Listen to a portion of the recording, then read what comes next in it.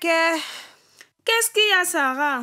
Tu penses que nous aussi, un jour, on pourrait s'acheter tout ce qu'on veut comme nos amis au lycée? Ah, pour cela, il faudrait qu'on travaille. Oh, tu sais bien que le travail nous est interdit comme nous sommes encore des enfants. Oui, peut-être. Mais dernièrement, j'ai vu une publication sur Facebook dans laquelle un monsieur disait pouvoir multiplier 10 000 francs en 300 000 francs. 10 000 francs en 300 000 francs. Déjà que je vois le biais de 10 000 que lorsque maman sort ça de son porte-monnaie. Mais tu imagines 300 000 francs. Kai! Je t'assure, regarde toi-même sa publication. Et, s'il te plaît, il peut multiplier différents montants. Comme là, j'ai 1000 francs sur moi. On peut essayer. Là, il Sarah. Tu fais quoi avec une aussi forte somme sur toi? Laisse-moi. On essaye alors voir.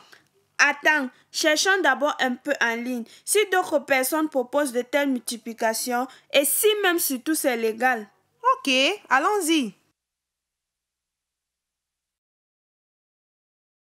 En effet, c'est un phénomène qui fait en ce moment des ravages en Afrique de l'Ouest et du Centre. Beaucoup de jeunes tombent dans ce piège de la facilité dans lequel on les propose de multiplier l'argent qu'ils ont. Et dès qu'ils acceptent, ils entrent dans une vie de contraintes et conditions suivant au péril de leur vie. Laïla, tu vois comme tu as failli me mettre dans la sorcellerie avec ton affaire de multiplier nos agents de beignets.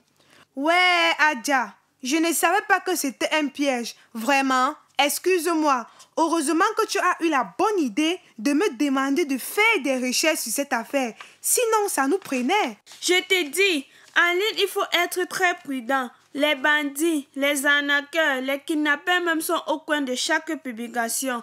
À nous d'être très vigilantes quand nous sommes en ligne.